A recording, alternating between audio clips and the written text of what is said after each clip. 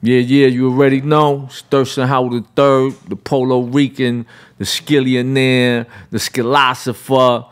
Make sure you catch me on that bootleg Kev show, man. It's gonna be serious, man. What up, bootleg Kev? Bootleg Cat Podcast, man. We got a special guest in here, Thirstin Howl the Third. Welcome. Yeah, what's up, Kev? What's, What's up, man? It's crazy because I remember uh, I told you like one of my first vinyls I ever got was one of your singles when you were with Rawkus, and um, I didn't really know much about you, and then it was uh, through the Source or the Double XL. Um, I really like I read up on you and uh, I was like super intrigued by the whole Lo Life shit and um, some of the for people who don't know like what the Lo Lifes were like. First of all, you're still poloed out, right on brand. It's life. Lo is life. But back in the '90s, correct me if I'm wrong. Like you guys would like kind of boost a lot of polo, right? Started in the 80s. '80s, okay, okay. 80s. So in the '80s it started. What was what kind of give me the background of what the Lo Life movement was, and you know, I feel like we see so much of this uh, boosting of high end products out of like Louis Vuitton these days, and I'm like, you guys were doing it first, low key. So I mean, you know, Lo Life was just a group of kids coming together, man, for survival. You know, uh, did a lot of things we weren't supposed to be doing. You know, it definitely it expanded way beyond clothing and stealing clothes. There was so many entities to what Lo Life was, but you know, we were known mainly for running up in stores and taking everything Russian. There was a lot of casual boosters. You know, we was terrorizing clubs and concerts and events and even the subway system. But like I always stress in every interview, because these are always the first questions. Yeah. Lo Life has transformed since then. Of course. We are a positive movement. We're a positive organization within hip hop culture, pushing things forward and teaching people to actually do the opposite of what, Of what y'all were did. doing. Yep. Yeah, So, because so many people just want to hear the crime. Listen, that was so long ago, and we've been on this path for a very long time now. Mm-hmm. You know what I mean? We're heavy in entertainment, heavy in art, heavy in film, you know, heavy in community service and things like that. So, it's for me, it's really all about what we are today. I mean, if you want to know the Lo Life history is all over the place on the internet. You could Google it and they'll tell you all the stuff that I'm tired of repeating because we you know, we got the stigma stuck on us Right. that I've been trying to shake off. It's been years since Had they ever approached you guys to do like a show or like a, a, a movie? Because I feel like it'd be a great Netflix series like that. 80s, like I just feel like that that was such a, a, a interesting thing to be a part of. That like I, I'm surprised. Like, I'm surprised we haven't seen it kind of, you know, come out as like you know we see Raising Kane and we see Snowfall, which is kind of based on Freeway Rick Ross's life loosely. You know what I mean? Has, has anybody ever approached you guys to do something like that? Well, that's actually why I'm here in California right now. Um, we're doing the Lo Life series, the Stealing the American Dream, with uh, Kevin Garnett and Content Cartel, and my good friend Mark Levin and Blowback Productions. So, along with my company Skillionaire, Dope. you know, so it's everything is is in the mix. So it's just a matter of time before it's on the big screen. So, So that's on the way. it's on the way. KG's KG's uh, what is he? A producer, investor? Uh, he's everything. Yeah. You know, he's part of the entire thing. We partnered up, you know, our companies to do this together in Right. sync. So KG had a lot of interest in the story. You know, his company hit me up. We sat down. You know, Adam Sandler got involved. Oh, shit. Happy Madison. So there was, there was, you know, there was so many angles to it, but it's coming. How would you rate Adam Sandler's drip? His drip, I mean, Adam don't gotta care, man. He I, that's he what I like about him, right? Yeah, It's just believe it very much like it. His lack of is the drip. It says more than you know if he were to be wearing like a. And it complements his personality and, and, and what he's known for in comedy. It's like, I'm gonna make you laugh every time I Right. walk in the room, whether I'm telling a joke or not. Right, right, right, right, right. You know? And he's a good dude, man, you know? Um, Do, how much? First of all, how extensive is your collection of polo? Because you know, there's people who I know who have stuff that they've just I I got a good friend who collects the teddy bears, the actual teddy bears, and I mean he's got tons of stuff from when he was a kid all the way to oh, now. Give me his address.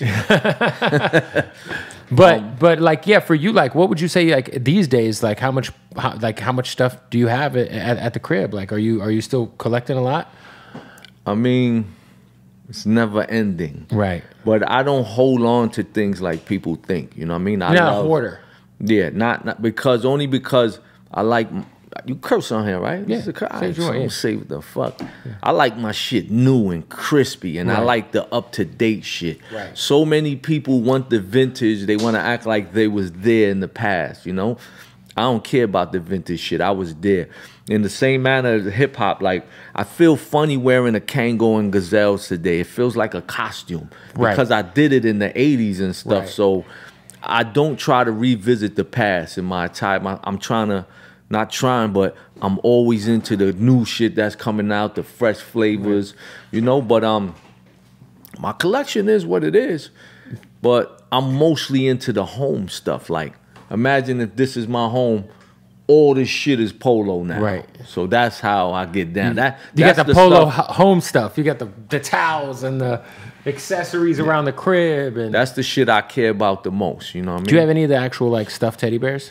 I have the collection. Yeah. I have, I maybe have 50 bears, Wow. man. And everything was like gifts, man, for Right. my family, for my children. Fans probably bringing you stuff. Fans would mail shit to my PO box all the time. I've always put my information on like my CDs and Mm-hmm. stuff, and here comes a, a box uh, that I didn't expect. You know, a fan sent me an autographed Mike Tyson glove because they know I love Mike Tyson and I'm from Brownsville. Crazy. You know, so I just received stuff from people I didn't even know. Then they would tell me, "Yo, I, I think you would like this." It's crazy because like I remember like really hearing about Brownsville like from MOP, right? Mm-hmm. MOP was like still one of my favorite rap groups of all time. Shout out to them. They the kings to me of Brownsville as far as the hip hop music. You know, they were the most dominant because they were the most consistent. Mm-hmm. You know, outside of myself, but MOP had more of a mainstream platform, and they had them bangers. Well, I just remember like reading their interviews and like in my head thinking Brownsville was like the worst place in America. like how crazy was Brownsville in the 90s? Cuz it had to have been like I read some stuff that like like uh, Fame and Billy Danze would be saying about like things that they used to do and it just it seemed like a very and then when you would hear other people from Brooklyn talk about Brownsville, the way they would talk about Brownsville was like it was it was like crazy. Like You know, Brooklyn is considered one of the worst worst boroughs of of New York City, and the rest of Brooklyn don't come to Brownsville like that. Right, that's what it That's feels how like. serious. And Brownsville is mostly composed of housing projects, Mm-hmm. man. Maybe I think like thirty three housing projects, and we're not talking about you know. In all these other states, your housing projects are like two floors, Right.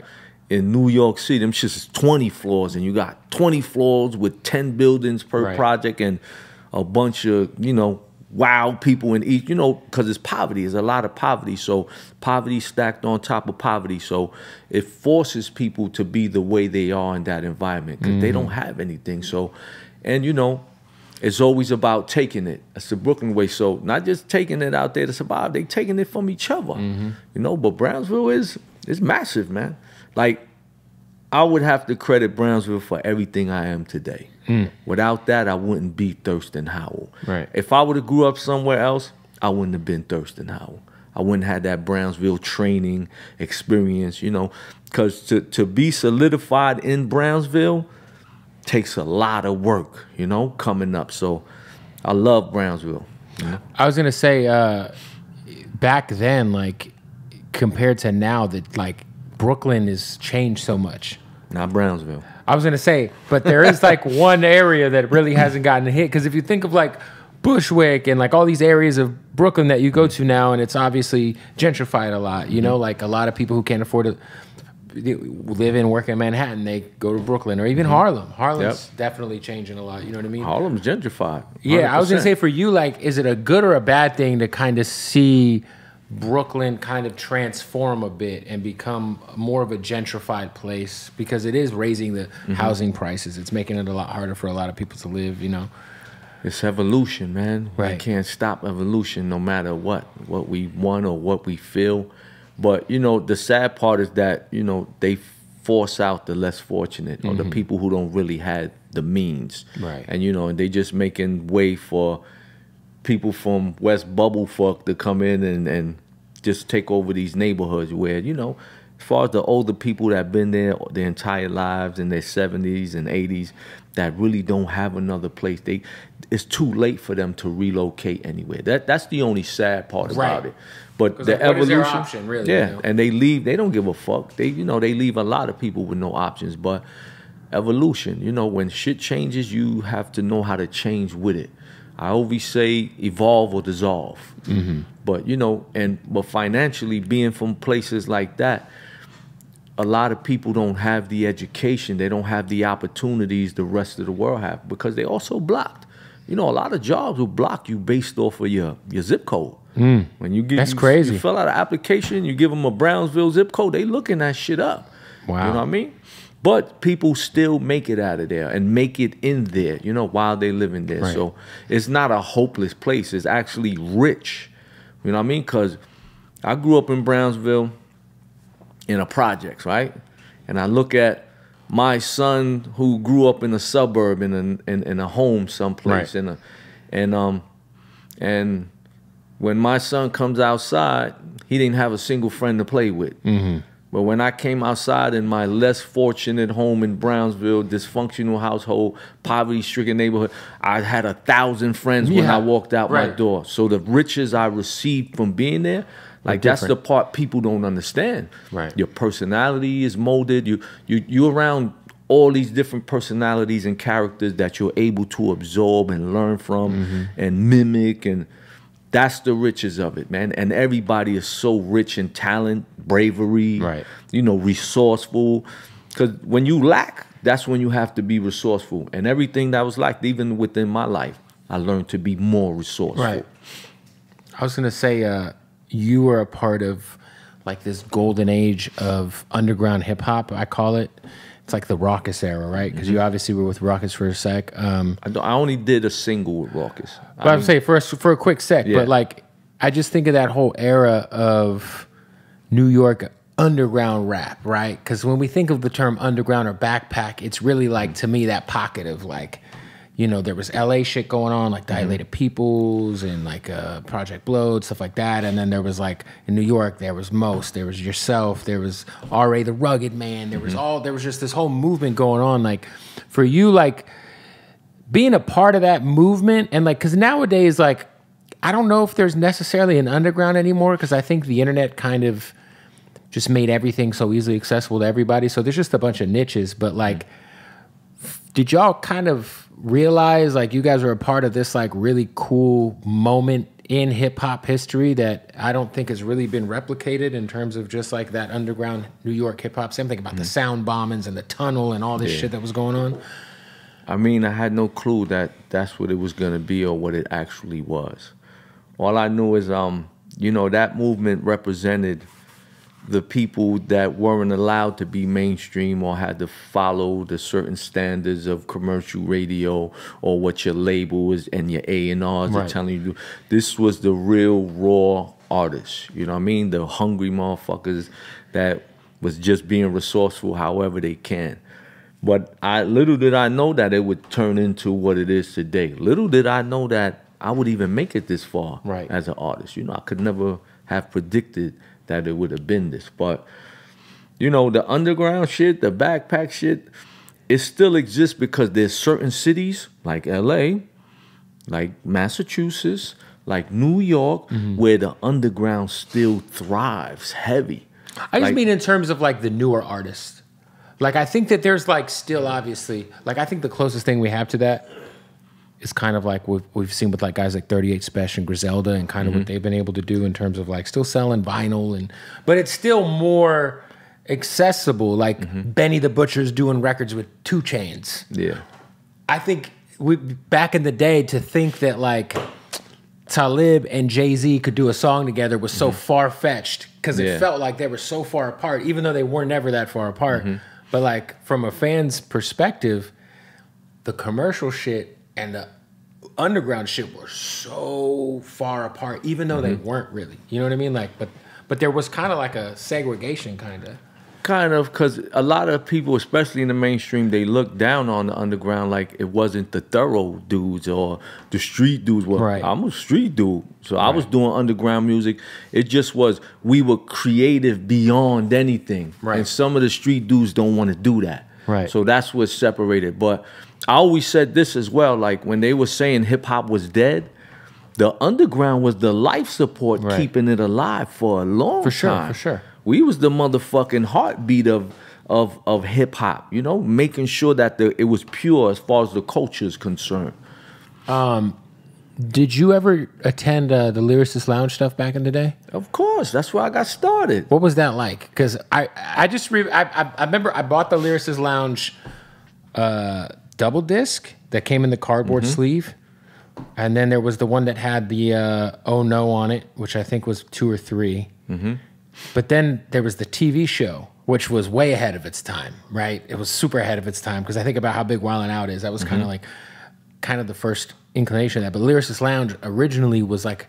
Was it a monthly event, or how often were they doing lyricist lounges in New in It, New York? it varied, man. It could have been every week. What was that month. like though? And like, what were the other MCs that you know you were brushing shoulders with at Lyricist Lounge?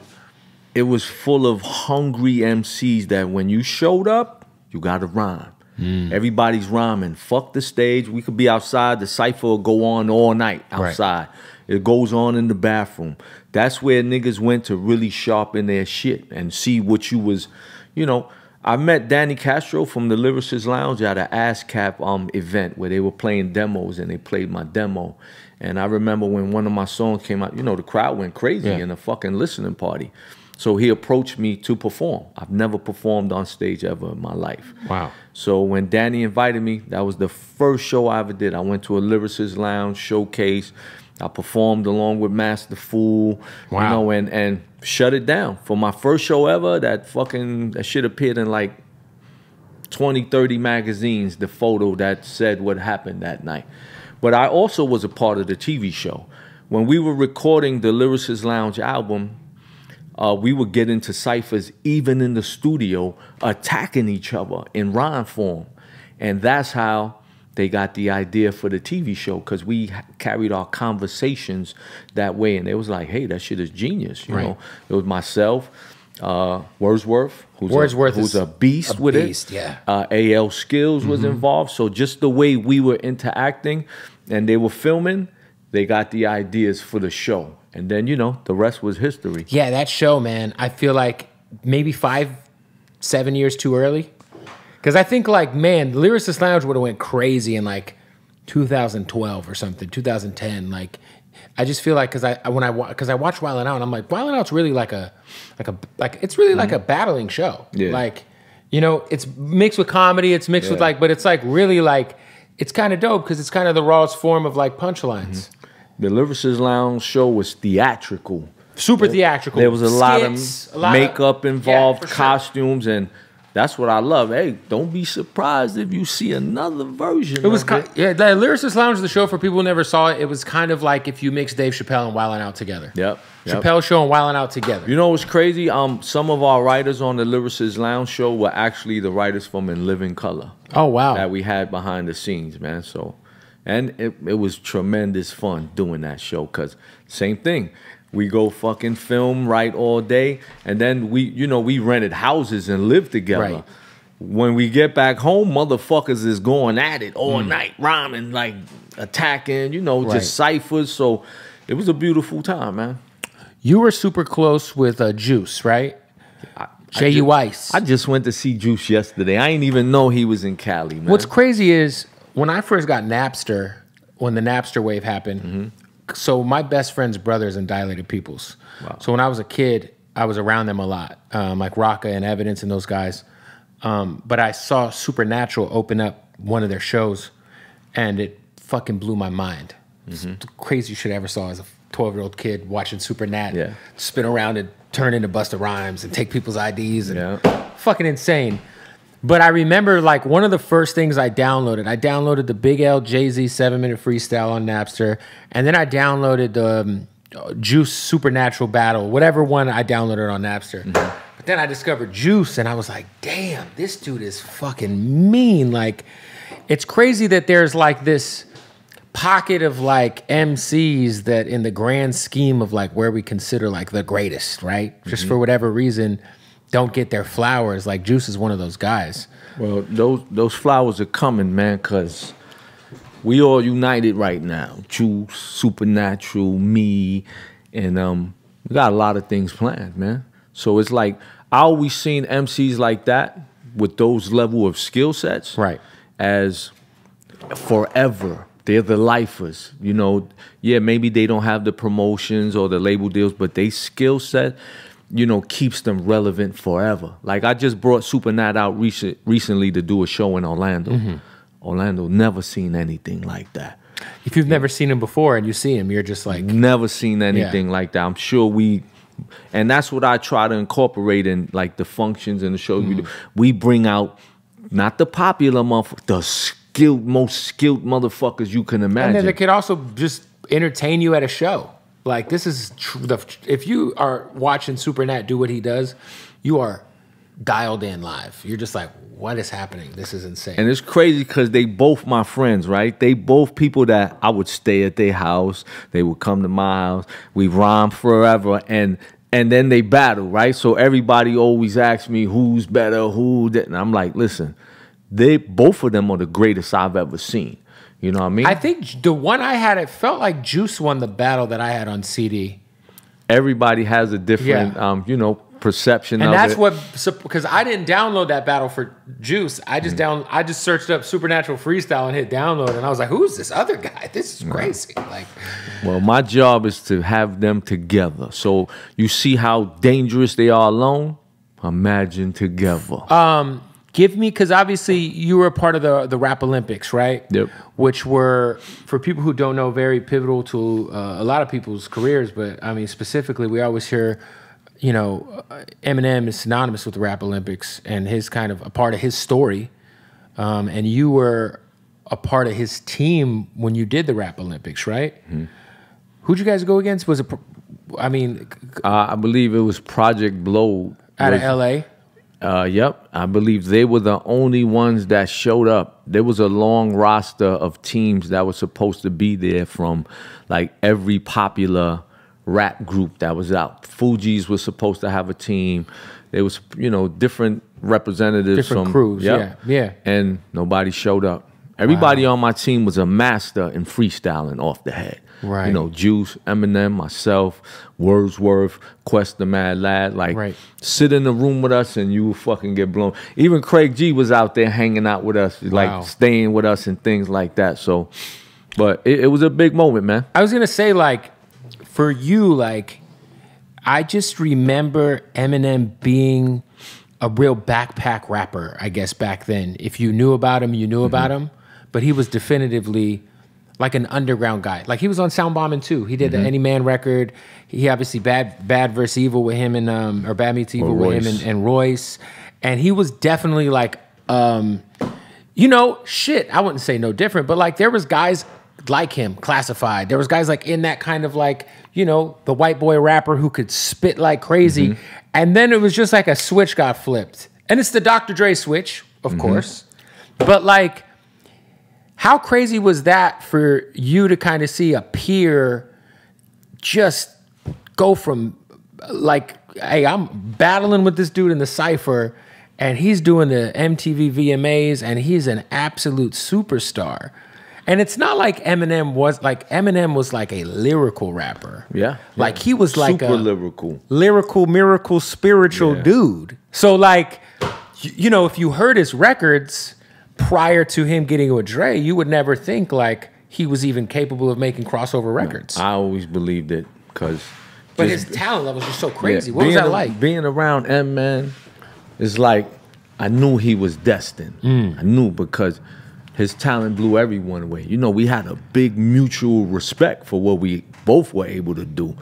Now, I knew at any moment something was gonna happen from and he was really the actual factual truth. You know, I always me when when when I credit anyone or anybody in the industry, I base everything off skills first. You know what I mean? Most And important. That's how. Yeah. That's how. for me, it's skills first. Right. I don't care about nothing else. He had the skills to, to take it there. You know what I mean? sure. So, but you know, I was around several artists and I seen them blow up. You know, I seen Mos and Kweli. I seen that shit. You know, as far as my peers are concerned, I seen them take off. I seen them take off. I seen so many others, and it, all it did was give me hope. It, mm. it, it showed me that it's possible to see the level that M got it to. I'm like, I'm next. I'm coming. And even to this day, where I've never, I've never had a situation. I've never had a record deal. I've never had any of that. But I always knew that if I stay in it to win it, and I stay consistent, my day is gonna eventually come. And that's everybody's thing. As long as you put in the work, you will eventually reach that motherfucking status that way. Even if I had to do it myself, and which I did. But this is not even the end. This I feel like this is not even the beginning. Well, you got a new album uh, with a hope, like a. Uh, I'm sorry, fill me in on the producer's name. It- It's, it's Mateo Getz, my dude Mateo Guess. he's handling all the all the album, the whole. He did he did the entire production. You know, Mateo Getz is from Framingham, Massachusetts. He been my close friend for, you know, since he was a teenager. You know, I would hang out with him in the studio. Him, the entire Havoc House from out there. You know, I met him through my other good friend Jackson. So, you know, we just Mateo Guess was like besides myself, man, he's probably the most dedicated person to hip hop I ever met, mm. where nothing else matters but hip hop. And him pursuing hip hop and being a producer and living his life according to hip hop. So, I mean, he came into a situation where financial situation where he's like, yo, we can do a, we can make an album right now, push it. And he gave me a call and we decided to work on an entire album. I've never done an entire album with anyone besides myself being the producer, producing the entire album. Right. You know, but like I said, he was my brother. I was happy to do it. We were already working for years. Besides that, he's always produced something on my projects. We've always hung out. We've always just been friends, if that's all we had. You Right. know? But he produced this whole album. He definitely crushed it, all the beats. You know, I actually got everything that I wanted. You know, we we worked it slowly because I always wanted to make sure I had the right material. But at the end of the day, we had that polished, you know, finished product that was I was definitely like proud of. All right, you already know, man. We got to stop the interview. Shout out to MyBookie right now. If you go to MyBookie and sign up, man. I was just playing roulette, like live with a real person, spinning the ball on webcam at the casino. MyBookie.ag. You can, uh, of course, bet on baseball, but really, you got to get down with the casino. They got the slots, they got all the card games, blackjack, craps, uh, roulette, table games galore. It's a full-fledged casino, mybookie.ag. And when you sign up with that promo code bootleg, sign up right now, use that promo code bootleg. They're gonna get you hooked up with a first deposit bonus. mybookie.ag. Let's get back to the interview. Now, if you guys don't know about King Palm, King Palm is all natural, baby. Yes. All right. We're talking about the leader when it comes to uh, tobacco free, natural, organic leaf wraps. If you're a smoker, a toter, a straight West Coaster, you know what I'm saying? Whatever you're into, King Palms, they got it for you. What's great about um, these, these are like one of the best uh, products that they sell. Now, this is a, a terpene infused tobacco free leaf. And what's dope is you stuff your flour into it and then you press on the thingy. You know what I'm saying? And then you got flavor. I'm gonna show you what it looks like when it's stuffed with some great tree from Jardín, of course. Ah, look at that. Right? Get that thing stuffed up. The tip has got that flavor in it.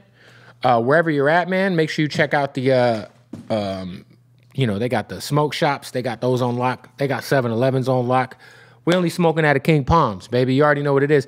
And if you go to kingpalms.com, kingpalm.com, kingpalm.com, and you use the promo code bootlegkev, you will save 50% off at checkout, half off at checkout, 50% off if you go to kingpalm.com and use that promo code. The promo code is down below. Go run it up. Try some of these flavors too, man. The peach pineapple, the strawberry shortcake. They just got so much going on. There's also all kind of dope smoking accessories you can get half off, y'all. What are we talking about? Save 50% off. Kingpalm.com, promo code below. It's either bootleg or bootleg Kev. I'm, these promo codes got my head hurt. Try both of them, all right? One of them will get you 50% off, God damn it. Anyway, let's get back to the interview. I was gonna say for you to be a part of so many eras, right? Where people will buy vinyl, people buy a CD, and now we got this streaming era of music, TikTok era of music. It's a lot more different. Is it harder to uh, keep adjusting when it's like it feels like everyone's attention span's getting shorter and shorter? Or I mean, you have a built-in fan base like that's going to support like no matter what. But how are you evolving with just the business that's evolving at, from day to day? You know, evolve or dissolve. Yeah. Like I said, I, I make sure I stay in tune. Right. Um, I'm not a trend follower. Right. But I will follow what's needed to push what I'm doing. Right. You know, I might not be into certain things or actually even enjoy them, but I know if they're necessary, yes, I'm going to apply along with them and do and evolve as time's evolving. I'm not changing my style for nobody and shit like that when it comes to the. I mean, I don't think. I think it would be crazy for you to do that because your fans they expect They, they expect that crazy shit. Right. You know what I mean? But I'm also, I in my my opinion, I'm one of the most versatile artists ever Mm-hmm. because I switch so many different lanes. You know, I go from Spanish, Spanglish, reggae. I do fucking nasty shit like Two Right. Live Crew. Mm-hmm. I do extremely creative. I do massive punchline songs. So. You know, you can't really box me as an artist. I can do the commercial shit all day long, and I could give you the rawest hip hop you could imagine. Yo, I'm not tripping. You had a record on. Did you have a record on one of the Grand Theft Autos? Nah. No. Okay, maybe I'm tripping. You know what? Maybe I'm confused because you were on Game for a little bit, right? Yeah. I did a single with Game, the Polo Rican. That was Shout my out to Game. on Game had. I remember they had. Uh, they had some shit. They had the Royce shit. I Yeah, they had the Aguilar, the Cook, Cook, Crookie Monster. They had the Blase single. Shout out John Schechter too, man. gonna say shout out Shecky Green, man. Shecky Green is a is, he's, a, he's uh, a wild store, guy. There was that dope store in Vegas, hiphopsite.com, Mm-hmm. Which was a fucking sick ass store. Shout out to Pizzo. And, uh, Pizzo is the man. I did a lot of stuff with Pizzo, man. I never even met him personally. you Really? know what I mean, just super nice guy. Yeah, Yeah, but I just remember like uh, when I was a kid, I, I- when I went to Vegas, my parents were like, "What do you want to do?" I was like, "There's a store if you could take me." wow. How old are you, man? 36. Oh wow, that's what's up. My kids are older than you, man. Yeah, I went and bought a big L. Uh, I went and bought a big L T-shirt from that uh, store, hiphopsite.com. Damn. I even did promos for them, like um, you know, songs and Right. commercials to advertise the site, man. But Pizzo was a good dude, man. Like we did a lot of stuff together, you know, as far as pushing my Mm-hmm. albums and things like that. They definitely supported me. I was gonna say, as you being like the OG guy who could go boost a whole store rack right from a Dillard's or from wherever, when you see like what's happening, because it's really listen, it's everywhere, but California, they're making it Oh, really. they're getting busy. They're getting busy out here. Like busy. they won't even stop you. The cops ain't even gonna arrest you. Like it is kind of like just from your perspective, do you like look back and be like, damn, like if we was out in Cali in '89, we'd be eating. Nah, we either got caught because we ain't had no cars back then. So we had the subway system So you guys would grab racks And run straight run- to the subway. straight to the subway and hit the tracks. Not wait for the train. Wow. You gotta hit the tracks and run. And now you in danger. You could trip. You got rats. You got bums. You got work bums. You got homeless people living down there. Like, So you hit the tracks and you're hoping to get to the next.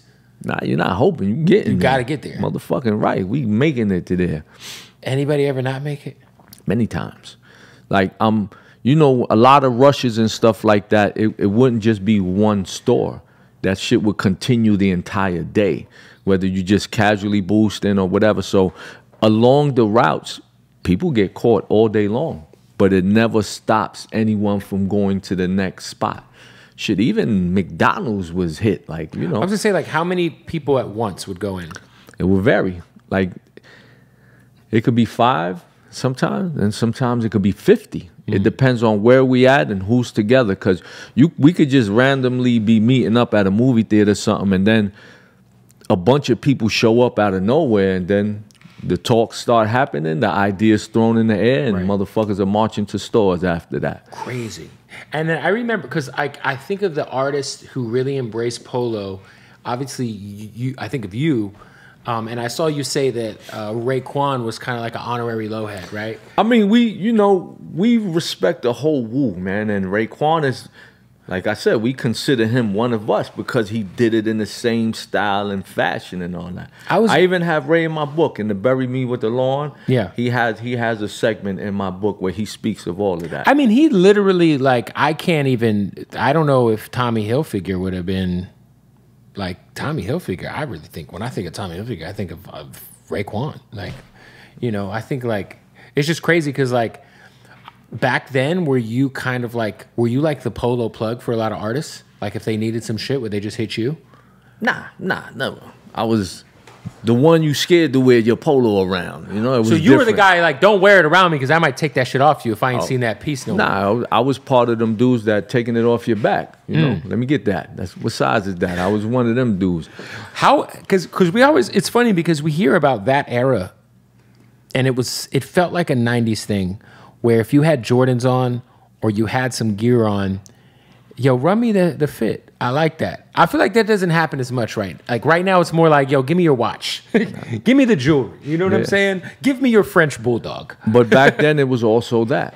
Like it was everything. It wasn't just the clothing. It's like, give me a chain, give me give me your girl. Wow. Cause Lo Life is so fly. When we coming through, your girl's watching. Right. And possibly we gonna take her too. She's gonna wanna come with us. There's so many times when we're running deep, we had so many stragglers just follow us. And I mean women, people we don't know because they would know what we were going to do. Mm. And they would add on to the chaos and just jump in the mix out of nowhere. And that happened a lot. So at times you might be on the subway, fly dude. You don't even gotta be fly, it could be a crackhead. Crackheads like in Times Square would Hey, jump hey, in. What you got on? I like those. Run me that. Shout out. Hey, fucking. Obviously, years later, An- Ante Up comes out, right? Which kind of like on a commercial level mm-hmm. communicates to the rest of the world mm-hmm. that you will get robbed for everything you have if you comes to Brownsville. Mm-hmm. How important? Like Ante Up is like the commercial. Like obviously, MOP had Four Alarm Blaze. They had um, what's the, al- the their first album? I can't think of the name of their first album. I have it on CD. Um, hardcore, Hardcore. How about some hardcore? Yeah. How about some hardcore? But like Ante Up was like a commercial, worldwide mm-hmm. Brownsville anthem. Yeah. Like it really kind of like to me was like, this is like, this is what we're about in Brownsville. Mm-hmm. Don't come over here and get caught slipping. You know, for us too, even myself, I wasn't somebody robbing my people in Brownsville. We Mm. took that shit every place else. You know what I mean? If anything, we protected. A lot of people in Brownsville protect where they live Right. and the people around them, but they also rob each other. Right, right, right, But right, that's how you become built to withstand it. Because once you go through it a couple of times and you learn how to hold it down and defend yourself, then you able to make that cease. That's how you earn your respect. Mm-hmm. And then from that point on, people know not to bother you, not to bother your family, because you're doing what you're Yeah. supposed to do as far as survival. But you know i'm motto in Brownsville, man. Never ran, never will. I was gonna say, uh, you've obviously had some experiences with Hov, who's another Brooklyn legend. What was your experiences coming up and, and being around Jay Z?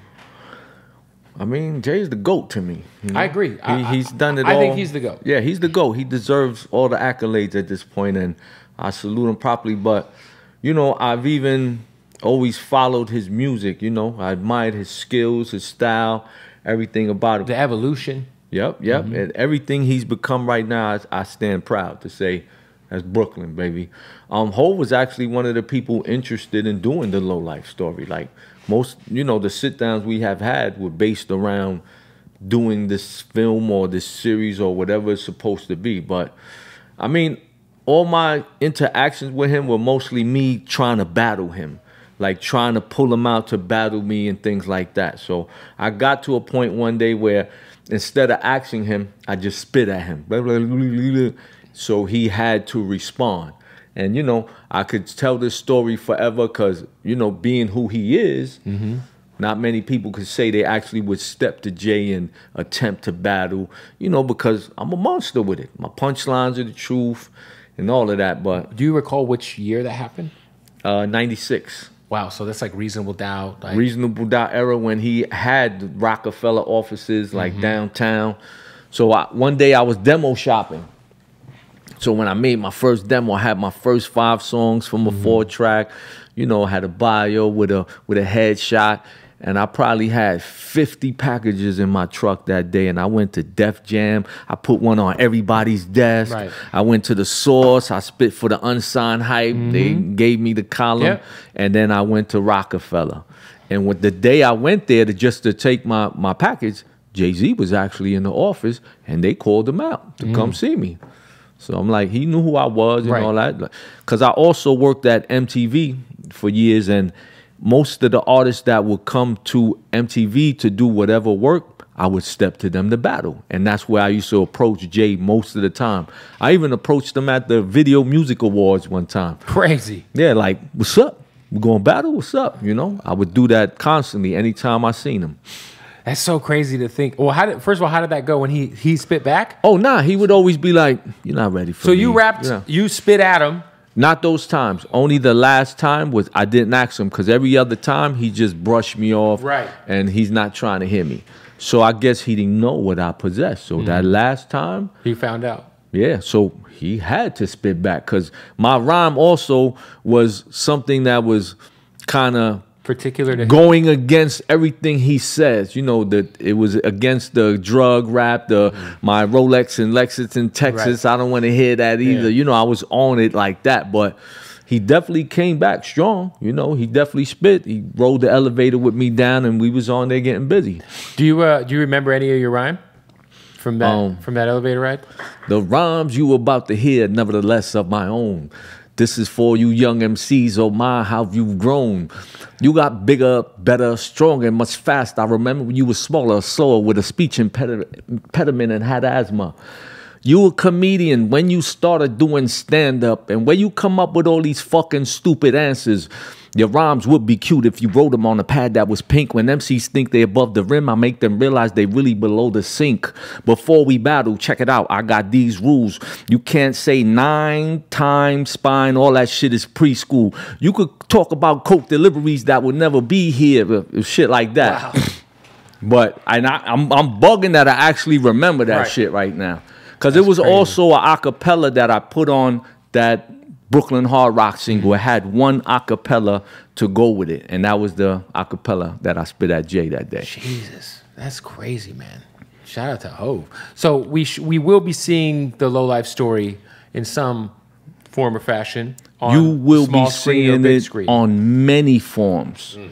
because my my you know aspect and my part of the story is only one camera angle Right. there's so many stories there's so many Lo Lifes that there's so many different stories involved in so the story you're going to see is just from my perspective but i'm sure there will be other perspectives coming into play at a point in time, how, because I think like, I always hear about the hip hop police back then, obviously late 80s, 90s, heavy mafia times in New York City. Uh, that's kind of like the peak of like when the mafia kind of started to end, I guess was the early 90s. Were you guys like looked at as like a criminal organization at a certain point in time by the NYPD? Of course. So, it was in the books. One of one of my good friends worked at uh, a youth incarcerated center, right? And he sent me a card one time. He sent me a photo of a card that when you come into the juvenile system, you had to fill out this card, and it asked you which gang are you a part of, and Lo Life was one of the boxes of the options to check off, man. Who would actually fill that out honestly? Like, let's just admit to being in a gang on this. a, a juvenile youth wants it to be known. He mm. wants that credits because when he walks into that, he wants people to know his gang affiliation with pride. Mm. And you know, I know that from being a dumb juvenile youth as well. So It's crazy, man. Well, I can't wait to see whatever comes out of of the meeting. Many things are coming out. Uh, the mm-hmm. al- is the album already out? Did it come Yeah, out? Thoughts Illustrated is on all digital platforms. I got features on there. Me and Smooth the Hustler got a joint called Brownsville Legends. I got the Rockness Monster and UG from Cella Dwellas. We got a mm-hmm. song called Lows and Cons, basically telling the Lo Life and Decepticon relationship mm-hmm. because everybody always thought like we was against each other or you know we was ops, but that wasn't in Brownsville, that wasn't the case. Maybe in other areas, because in Brownsville, we was all family, Lo Lifes and Decepticons. We actually lived in the same know neighborhood. what are the Decepticons. you know, there was a bunch of dudes on the train beating people up with hammers, man, like the fucking home tool hammers and and robbing everybody for Walkmans and but they would be on the subway system like hundreds of motherfuckers Jesus. coming through. That's like what you always hear, like, because when you, because like I never lived in New York. I think the first time I went to New York was 2013, and you hear about this crazy crime wave that was happening, and then you hear that Giuliani cleaned it up. I guess. Cleaned it up.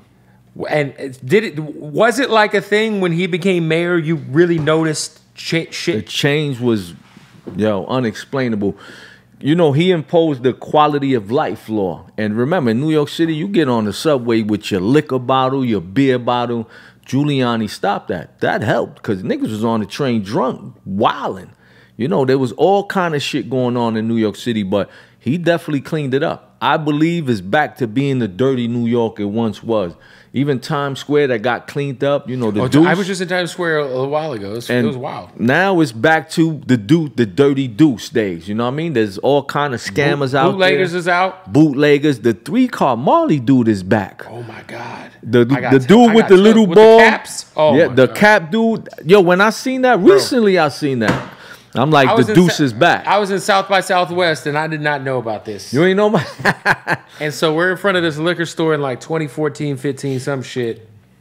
And I'm watching this dude, and I don't realize that the guy I'm watching win is is with them, you know. Mm-hmm. And I'm like, oh, this is this is easy. Easy for them. Those motherfuckers are magicians. nah, it's also a scam.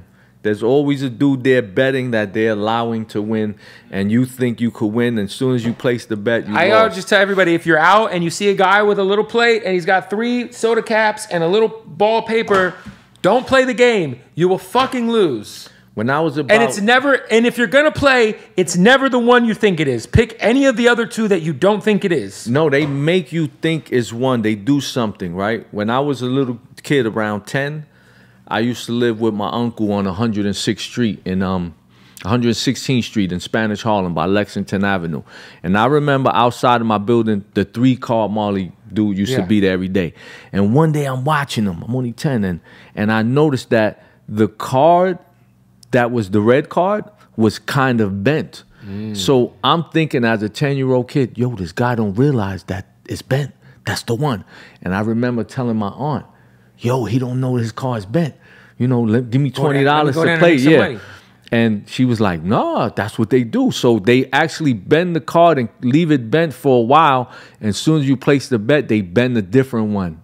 So you're gonna pick the wrong one every time. Dude, so they have got uh, those guys with that those three caps and that little ball. They took me for like seven hundred dollars at South by Southwest. damn. I was hot. I was like, "There's no way. This is." I was Just just. seven hundred. These guys were so man. It was just, yeah. I- And I just saw. They, I'm just like, there's. It's like the casino. Like these guys, there's, there's something about the flick of the wrist, or it's like a, they're magicians. Like literally, they're kind of you know magicians are Yeah, really it's a good. at, magic trick. Yeah, It's a sleight of hand shit.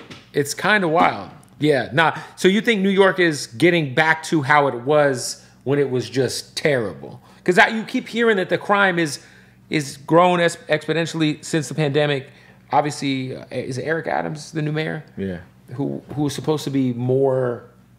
hip hop. The hip hop mayor. Well, I heard De Blasio kind of just had shit fucked up, you know. Yeah. Uh, but Yo, I think during the pandemic, the crime rate increased increased at two hundred percent. That's what they was advertising. Two hundred percent. Shit was out of control. I mean, if you could survive that shit and move out and go someplace else, you dominate anywhere you go. Cause New York is a fucking animal, man. if you could survive there, You if you could survive there, like true. like uh, It's true. Who said it? Uh, old Blue Eyes. It's true. If you could make it there, you could make it anywhere. I believe if you could make it there, you could conquer anywhere because the mentality and aggression you get from being trained and raised in New York, especially if you ride in that subway every day, packed, crowded, million personalities from all different ethnic groups and shit like that. Yo, you get that's that's the best training you could ever have. Did you guys ever um, back then? Because, like I said, that's like peak mafia. Towards the end of the peak mafia, did you ever have any run-ins with? I mean, Brownsville, obviously, was not a mafia area, but obviously, just being in New York, would you ever have run-ins with any of those guys, or? Because that was, I mean, I've I've just been doing such deep dives recently on YouTube with a lot of the the New York shit, and uh, it, I, I'm like, damn, like they really had their hands in so much construction and I mean Michael Franzese was like had the gas thing going and there was just it almost felt like if you were kind of a part of the underworld in some capacity like you had to rub shoulders with with that lifestyle a little bit even if it was indir- inadvertently Yeah, we did, man.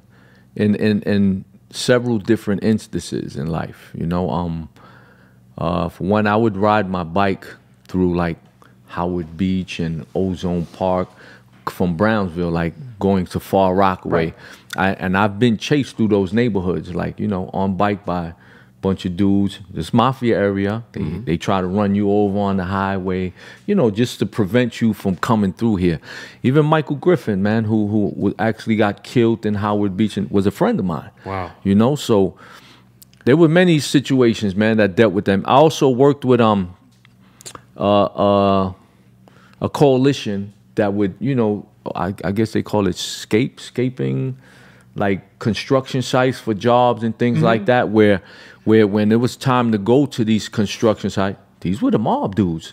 So you got a bunch of black dudes coming to try to get jobs from the mob dudes and and it was uh Arkbar from Brownsville, where he had the company at the spot called Operation Future, which is also the law school. Mm-hmm. And I believe his life was threatened, and you know they was attempting to kill him and all that. Because they You had know? so much to do with like the labor force and like Yep. the unions and like the construction companies in general like who's getting contracts And for many years, maybe since the 20s and 30s, that right that was existing. really ended in the nine like early Yeah. Mm-hmm. 90s so it's, it's yeah i just always wondered like damn like how crazy would it have been to just like be in new york during those times like uh, last question give me the most legendary or intense cipher they don't have to be the same cipher they could be different ciphers that you've ever been a part of Wow, damn.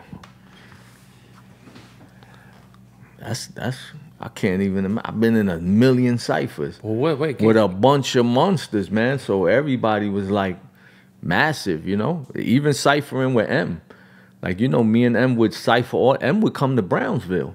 eminem would come to brownsville Eminem would come to Brownsville at two, three in the morning. really Paul Rosenberg come to Brownsville to my project, really and we rhyme. Even Paul Rosenberg would rhyme. That's how. That's how like inspiring uh, me and M's like rhyme session was that other people would jump in because we only freestyle. We didn't really spit no written shit or nothing like that. So Eminem was coming to Brownsville. Now this is this can't be It's in the '90s, like '97, '98. so this is when he this is right right around the time like you know he was doing like the wake up show and like doing this before all of that. Before all the- yep, oh, before we started hitting. Because once we were introduced, then we became friends, and you know we stayed involved with each other. And even Paul became my lawyer at Mm-hmm. the time. You know, So Eminem comes to Brownsville at two or three in the morning. Anybody give him any hell? Like who's this Nah, fucking white boy for walking over here at two in the morning? if you come into my house, ain't nobody bothering you. I know everybody here, so it's like. And it's, there's a lot of love there. It ain't as crazy as everybody thinks because the people love each other and they protect the area. So if you coming in there, With the they know you're yeah. going to see someone. They make sure you all right. You know, Damn, Eminem at Brownsville two in the morning. Jesus. facts. And rhyming his ass off all night, man. It's like couldn't stop. Wow. Anybody ever get so offended in a cipher you were a part of? Not say it was from you that that that violence ensued. I don't think they wanted violence, but I was always disrespectful. You'll see like some of these battles where somebody will say something Yeah. and then they they'll get slapped. I mean, you say my mother or my kids or whatever, Right. nigga, you might get stabbed out this motherfucker. That's why in, in today's you know world about I can't do that because I'm It I'm gets not very disrespectful. Yeah, nah, I'm not with it. Like I'm disrespectful, and I know it's being a battle, but Right. I've never touched your mother's subjects or It's and it's your kids or like your a lot girl. of and like not to say that I don't want to blanket the bat because I'm not as in tune with the battle world as as most people are that are into that. But I think it's less about the cleverness of the bar and more about the level of disrespect. Sometimes it feels that way. because those are bars.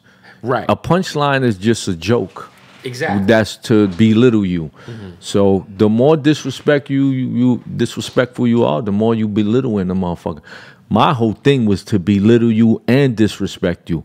I even made people battle me. Like, Like, if you you famous, you're not walking by me. I'm standing in front of you like I'm gonna rob you and we're gonna battle. okay, besides Jay Z, give me an example of somebody that we would know that you did that with, where you made them have to. Well, one person I battled, um, you know, like I said, I worked at MTV, so Of course, so everybody's I- walking in and out. Yeah. in and out. So I worked at uh I think it was like 95 or I worked at Fashionably Loud. Um it was like a big fashion show. It was almost as big as the VMAs. Mm-hmm. Okay. To where um we're working at at the Hammerstein Ballroom and um they I, you know, I'm the guy on the walkie. They say, "Hey, uh we got so and so walking in or Right. somebody take them up." So it's like, "Hey, Coolio's coming in and uh he needs to come up in the elevator." And I'm like, Shh, I got it. Copy. So now I get I now I get in the Coolio comes in with an entourage, right? Yeah. Rest in peace, Coolio, man. Rest in peace. My respect for him For sure. after that day, phew, through the roof. Um, get on the elevator, close it up. You know, we on a freight elevator. He got about four or five dudes with him. You know, I'm a big dude too, so I'm standing there. What's up, Coolio? You want to battle? And then everybody looked and said, "What?" Even eh, even the dudes he was with, like, "Yo, this is West Coast, man." So I'm like, "Cool," but yo, Coolio just started spitting, and I knew he had skills beyond the the records, the commercial hits Yeah. he had because I did buy his albums, the WC and the Mad Circle. You know, when I was in prison, I used to buy everybody's stuff through the mail. And so he automatically got busy and we went at it for a little while. And you know, it was it was respect, you know, respectful. We didn't it wasn't no disrespect, but he showed me that he was a real MC and he was really about this hip hop shit. Yeah. And ever since that day, whenever I spoke of Coolio, because most people in New York City, they weren't familiar with WC and the Mad Circle, Right. so they only knew Coolio from the Gangsta's the, Paradise Yep, the and- big hits yeah. and all that. So when I spoke about him anytime in New York City, I let them know Coolio is a real hip hop dude, MC, all and official. You know what I mean? And God rest his soul. I mean, Coolio was one of the most famous rappers on the planet for about three years straight. Mm-hmm. Like, I mean, Uh, as a kid, you would just he'd be on Nickelodeon, he'd be on MTV. I mean, he was ever, you couldn't go nowhere without seeing Coolio.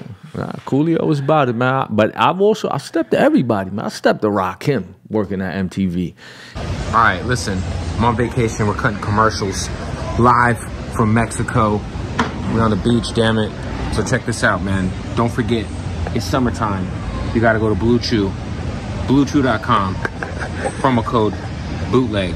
All right, that's gonna get you a free month supply. Same active ingredient as Viagra and Cialis. Of course, uh, the best part about BlueChew is it gets your dick super hard. What are we talking about? All right, if you're dealing with erectile dysfunction due to stress, due to I don't know, whatever is going on mentally, it happens too. You can get that ED fixed. BlueChew, promo code bootleg, free month supply, bluechew.com. Also, want to shout out to the family at ODDSOX, baby. That's right. Shout out to ODDSOX. They got all kind of crazy new licenses. They just dropped, uh, man, Transformers. They got the Hasbro licenses now. Power Ranger socks. Of course, they just did the Coca-Cola earlier this year. Of course, the most comfortable socks in the world. Go to oddsoxofficial.com, use that promo code bootleg, and save 20% off oddsoxofficial.com. And I remember he was coming in the MTV building, and I'm like, "Yo, Rob, what's up? You want to battle?" So he was like, "What?" And we went to the side, right? And then I spit my balls, and, and he was like, "Yeah, that's nice, that's nice." So he didn't take it as a battle. He just told me my shit was good and all that, you know. And I wasn't, you know, this is the God. I'm not being disrespectful in no Right. form, but my approach, remember, I'm I'm a I'm a true New York hip hop culture dude. So I'm a break dancer who battled the whole Brownsville. I went to the Roxy's just to battle. Like I never danced. Only dance I ever did was a break dance. Yeah. So and I only went to the clubs in those days to battle. That's You know, so crazy to just think like you're in the elevator. Hey, what's up, Coolio? You want to battle? Did that? Did you ever get yelled at by MTV for trying to battle everybody? Nah, because I, I did it very discreetly. And like if my producer right here was like, "Hey, what's up, Thirstin? Nice to meet you. Do you want to battle?"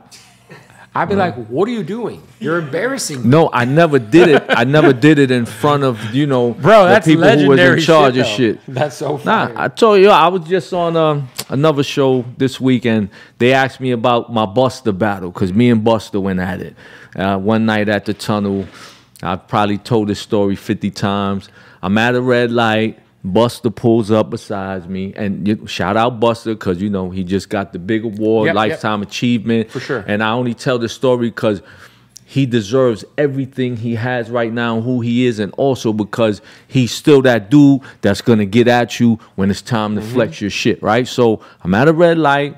Busta pulls up beside me. You know, we're at the Tunnel nightclub where you circle the block looking for parking. I guess they doing the same. So when he pulled up beside me, he's in the passenger seat. I'm in the driver's seat of my truck. And I looked at him and said, Busta, you want to battle, nigga? That nigga looked at me and said, What? I said, pull over, nigga. He said, no. And he started spitting. And went at it. Yo, he was going so hard that the light turned green and everything. Now we got traffic backed up. All the horns are hung you guys are battling through the car windows. through the car window. Then we pulled over and went at it for like an hour. You and Busta Rhymes Me and Busta. I didn't even have a demo at outside the the tunnel. Outside the Tunnel nightclub in New York City, like on 11th Avenue, What year, if you had to guess, was this? It was right when he began to promote the Woo Hah single. It hasn't dropped is yet. First album, Busta. This is First single before the album. scenario remix. Yep. buzzing. Yep. Yep. So this is that Busta, but like I said, man, he he got busy. So these are the people that really live that shit. That's why it's nothing for them. They don't feel disrespected because th- he's also built that way. That's what he mm-hmm. comes from. I say the same about Coolio, and there there was a lot of rappers that when you know because it got to the point I would go to the tunnel every week and I stopped going inside. I'm sitting outside with my Waiting to truck who walks up. everybody who walked up, I'm stepping to him. I remember Pudgee the fat bastard walked up one day. You know, I'm like, you know, you got to do this with me right now, Pudgee. We got to get this in. And we moved off to the side. You know, we rapped back and forth, but you know, he was focused on getting up in the club. You know, but there was, How crazy was the tunnel?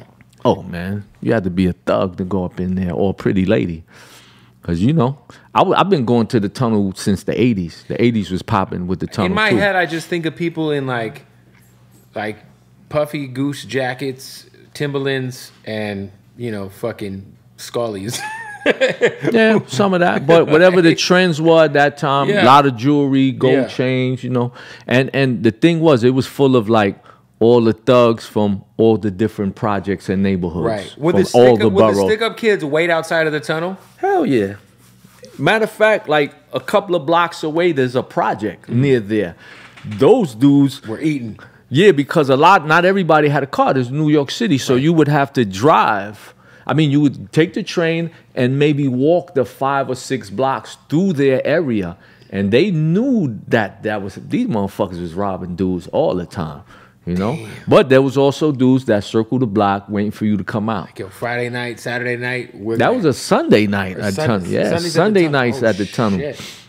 That's crazy. Shout out to the tunnel. I just the only thing I know about the tunnel is it was a hell of a Funk Flex and Big Kap album. Mm-hmm. Shout out, rest in peace to Big Kap. Rest in peace, Kap. Well, well, listen, I appreciate you, man. Uh, the new album's out right now. Thought Skill Illustrated, all digital platforms. Like I said, check the website, thirstinhowl3rd.com. Check my YouTube page, watch all my movies, all my videos.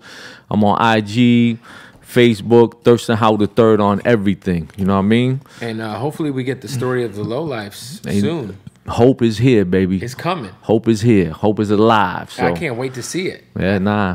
Who would you uh, cast to play yourself? Uh, I got a couple of people in mind. I don't want to say it yet, so that way I don't put them on point. So where they respect that. trying to figure out how much to hit me in the head Yeah. for. Okay. You know what I mean? But I, I got some good ones. You know, we've been pursuing this story for over 20 years, like myself and Mark Levin from Mm-hmm. Blowback Productions. And in the beginning, in the early 2000s, I had chosen Rick Gonzalez to play me. You know, and he was the perfect. He would have been per- perfect. Yeah. would- the only problem is now is that you know he's he's older, and this And is he- uh, this is a young role. You Decent know, rapper, from what I recall. yeah, yeah, Rick is busy, man, and I, he would have been. He, he to me, he's still perfect, but the role is for it begins as a Someone young. sixteen-year-old kid, Yeah, I feel like you need somebody kind of like relatively unknown.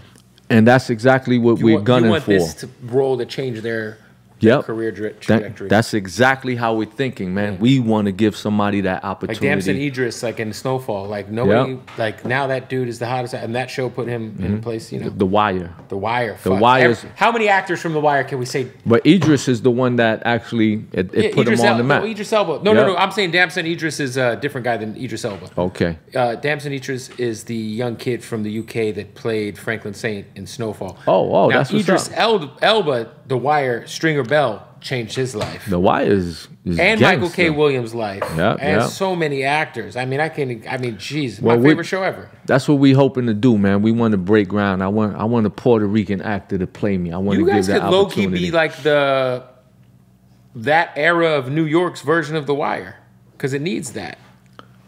That's where we going with it, baby. Because it's so many stories so within many- the story. Yeah, there's so many different. You know, there's so many moving parts in it, Yeah. and there's so many sides. So you know, it's gonna go to so many different angles, man. Like even what we have prepared already is like, wow, Right. you know. Well, shit, I can't wait to see it, man. We appreciate you coming through. You Thirstin already Howl know. the third. Go uh, support. What's the website one more time? ThirstinHowlTheThird.com. Shout out all the Lo Life family all over the world. You know what I mean? The ULL, the RLPC, the Orlando Lo Zone, the Miami family, Lo Life Mexico, Lo Life Paris, Lo Life Australia. Wait, can I ask you one more thing Yeah. regarding polo? Okay. I obviously was hip to you guys, but I didn't start buying polo until I was 16 and I got a part time job at Macy's and I was having my mom come in and I would only ring her up for like one out of 10 items. I was stealing for sure. Mm-hmm. Um, and the reason why I wanted to start wearing polo was because of Kanye Wow. because I was a huge Ye fan. How how for you guys to be like the OG polo guys, and to see Kanye put polo on on a commercial level, like a whole nother level. Like when he came out, he was polo the fuck out. You know what I'm saying? Mm-hmm. Yeah, yeah. How did you guys feel about that? And like, how did you guys kind of? Because he got a lot of credit for the polo, putting polo on in hip hop, even. Yeah. though you guys were Yeah, we, The we, pioneers. yeah. I mean, some Lo Lifes were offended. I Mm-hmm. even think they took shots at him and things like that. But I saw it for what exactly it was. Um, he was just opening the doors for us. You know, yeah, he got it, but then when he did it, it really focused on us and our backstory. I think in hip hop, I'm the first one to really exploit the polo on the cover, mm-hmm. even before Kanye came out. You know, sure. the Brooklyn Hard Rock, and then my out my first album, The Skillionaire, showed like all the polo coming out of my mm-hmm. closet, vomiting type. Right, of right, style. right. So, you know, but me personally, man, I'm I'm never mad at anything because I know where I stand, I know where I sit, and I know where I'm going with it. And all those little things actually help us, like including the um, 50 Cent show, the Raising Kanan. Yeah. They have a Lo Life character within the show. Mm-hmm. And so many people were upset and saying this and that. Oh, they said, I'm like, yo, they they making it easier for us now, you know, to push our show or to pitch it because they're showing that this was- exists. and it was important. Yeah. And I credit 50 and I gotta say thank you, 50, you know. Did Kanye ever reach out to you or shout you guys out at all? Uh, I mean, I think he responded to one of the things Oh, that was, yeah, like, I, you know, he had that song where he said, "Oh, you're trying to say I'm not a Lo head?" yep, yep. And I'm. That was, I believe, in response to what other Lo Lifes were saying. But, you know, much success to Kanye, which he already attained, and much respect to him, man, because he Keep saying last question. What's the most ex- expensive polo item that you've either? The one I wear every day. No, but you had to have had that. What? Is there like a fucking polo you know, Rolls Royce or something? I don't know. Like, what is what's the craziest polo item you've ever owned? I mean, I, I would say the stuff that I create myself. Like, if it's something Ralph doesn't make, I would take things apart and create my own. Mm. Like, you know how we would do the silks. We would get Right. three different giant silks and make it Cut 'em up into a shirt, into a shirt, that yeah. doesn't exist on his market. And they would actually sell for thousands. Like, I. The value in the shirt is really after I take it off. Now this shirt is valuable. Yep. So now I could sell that motherfucker for whatever. That's crazy, man. Well, I appreciate you coming through. Thirstin Nah, thanks for having me, Yes, man. sir. I'll be back many times, man. I will be out here in Cali a lot. You know, I had Working to on working on a smash. working TV on everything. movie, whatever, It's way know? more than music. It's way more than TV. You know, I'm a multimedia man. So There- there it is. Every angle, man, I'm trying to cover, man. Well, appreciate you And pulling it's- up. It's the culture, Yes, man. sir. I'm for the culture all the way. Hey, appreciate y'all watching another interview brought to you by our good folks at Jardín. Now, listen, y'all, when you're in Las Vegas, you get in that fucking Uber, you land at the airport, hit that taxi, tell them to take you to Jardín, the number one premium cannabis dispensary in the fucking world, y'all. I'm telling you, you walk in, they treat you like a king or a queen or whatever you're into, all right? They got the craziest selection of premium cannabis you'll see, period, anywhere, let alone in Las Vegas, but just anywhere, all right? Not only can you go get the best tree, you will get the best experience, the best customer service, the best bud tenders. You walk into Jardín and that shit just smells amazing. They got their own fucking scent. Literally, you get into my car, I got a bottle of it. I, my car smells like Jardín because it's just the best fucking place. Um, go follow them online, Jardín underscore Las Vegas. Jardín underscore Las Vegas. Go to their website, jardinlasvegas.com. All right, when you go, you're in Vegas, you pull up, tell them I sent you, they're gonna take care of you the right way. All right, look, they got these things in there, man, these moon rock uh, pre rolls that I just had that just absolutely melted my face off. Shout out to Jardín. All right. You got to go fuck with Jardín, man. Jardín underscore Las Vegas. Uh, thank y'all, man. I love these guys. They're like family to us. And uh, hey, we're going to drop another interview soon. If you're watching this, you're at the end of the interview, though. Much love.